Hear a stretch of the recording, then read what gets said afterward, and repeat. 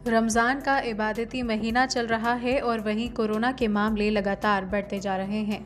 ऐसे में पिछले साल 31 मार्च से बंद निज़ामुद्दीन मरकज़ में नमाज़ पढ़ने को लेकर दिल्ली उच्च न्यायालय ने लोगों की धार्मिक भावनाओं का ख्याल रखते हुए दिशा निर्देश जारी किए हैं, जिसमें कहा गया है कि निज़ामुद्दीन मरकज़ में रमज़ान के दौरान एक साथ पचास लोगों को नमाज़ पढ़ने की इजाज़त है। कोर्ट ने गुरुवार को यह फैसला सुनाया। अदालत ने कहा कि मरकज़ के फ़र्स्ट फ्लोर पर दिन में पाँच बार नमाज़ पढ़ी जा सकती है, लेकिन कोरोना गाइडलाइंस का पालन करना अनिवार्य होगा। बता दें कि इस मामले में दिल्ली वक्फ बोर्ड ने कोर्ट में अर्जी लगाई थी। उनका कहना था कि कुंभ मेला और दूसरे आयोजन चल रहे हैं। ऐसे में रमज़ान के दौरान मरकज को भी खोला जाना चाहिए और इजाज़त मिलनी चाहिए।